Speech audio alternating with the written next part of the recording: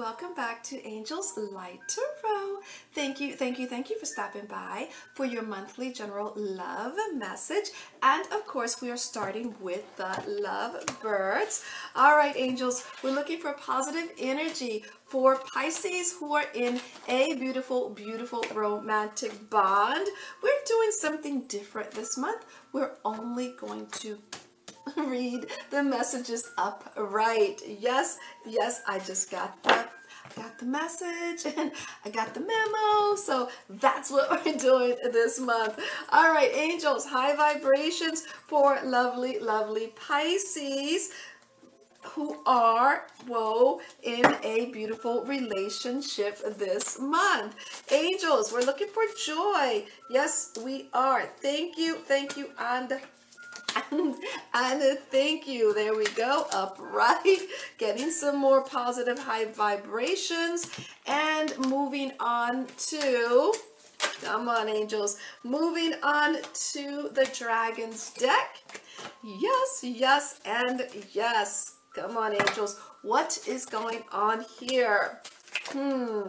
There we go. Now, are we ready? You're like, yeah, we're ready. All right, sit back, relax. Let's take a peek at what's going on in your beautiful love bond. It's that, that committed love bond. We have manifestation, four of spades, four of swords, and realign. So when it comes to your love relationship, I see that you are trying to manifest maybe a home or maybe some deeper security in your relationship. I see you pondering praying and meditating a lot. You're trying to change things. I feel like there's something in your relationship you're trying to readjust okay? Um, you're trying to get more security in out of your love bond. Now, let's look at the recent past here. We have the silver waterfall, the four of clubs, the three of swords, and the union. So in the recent past with the silver waterfall, I feel like you were, you, you and your partner were really in your emotions. Someone was being quite stubborn, and I feel like that stubborn really hurt. I feel like really hurt the other person. It may have even been a love triangle situation, but I feel like you two really, even though there may have been um, um, someone else coming in between, I still believe that you two stayed together, okay?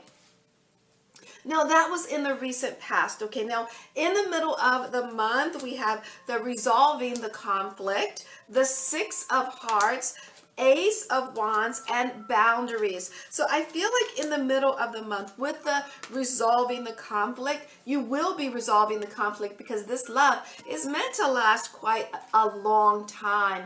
With the um, the Ace of, of Wands, there is a new beginning coming from this. But in this new beginning, you must, you must, Pisces, set some boundaries. And this is a new beginning within the relationship. Now, when we look at the end of the month, we have connection. We have the nine of spades. We have the four of wands and energy. So by the end of the month, I see you guys getting along beautifully. The nine of spades is telling me that you're letting go of a lot of things that kind of got in the way of this, of your happiness. And not only did you let it go, so that you can have this. I feel like it also gave you new energy in it like it breathed new life into the relationship almost like you forgave and you let it go and that's what's helping you come to this beautiful beautiful four of wands security in love now when we look at your bonus you have the creativity the nine of clubs the high priestess and resilience. So I feel like with the creativity, you guys, your love is so unique. It's not like anyone else's. I feel like there's a lot for you to talk about in regards to this. There's a lot that people don't really know about your relationship, but that's what keeps it going.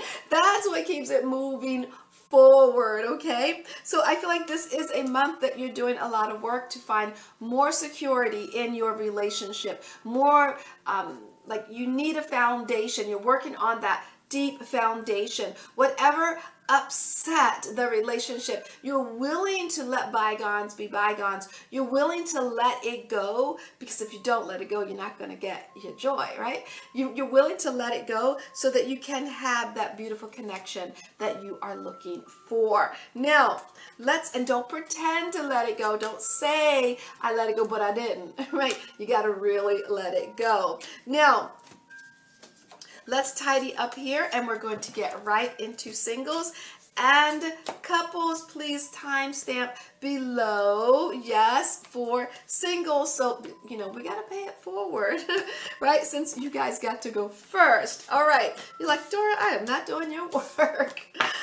All right let's move on shall we? Hmm. Singles looking for love. Let's get right into this. Angels Thank you. High vibrations for singles looking for love in the month of September. All of the cards will be read upright. Yes. Thank you, thank you, and thank you. Moving on to my mama's deck. Angels, we're looking for some joy. Yes, we are. Thank you, thank you, and thank you. Come on, there we go. Now, Let's add one from the Rider deck. Ah, ah, one from the Rider deck. All right, let's keep on shuffling. Let's keep on shuffling here. Ah, there we go. And let's keep on shuffling. And these are all right side up. Thank you, thank you, thank you. And one more. Just, just one more. That's it, just one more. There we go. Now, let's go ahead and add one from the Dragon's deck. Come on, angels. Positive energy, high vibrations. Thank you, thank you, and thank you. And there we go. Okay, so singles looking for love. Let's take a peek, shall we?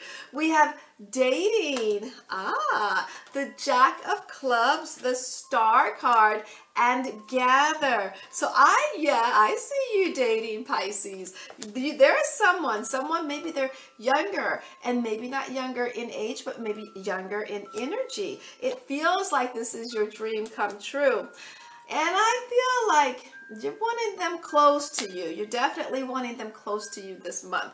Now, let's take a peek let's take a peek. Yes, in the recent past, you had the sacred woman, yes, with the four of clubs, the three of swords, and energy. So in the recent past, I see you were doing some healing, Pisces. I feel like you were getting grounded in your thoughts about some pain that you've had in the past and that it kind of, that energy kind of hung around a little bit, that pain from the past. Yeah, but I see that you were doing a lot of work to heal that part. Now, that was in the recent past. Now, in the middle of the month, we have the garden, we have the king of hearts, the ace of wands, and prosperity. So in the middle of the month with the garden card, I feel like Sit back, relax, and let love come to you because it will come to you. There is a new beginning, and that new beginning will grow. So, yes, I see love coming into your world this month.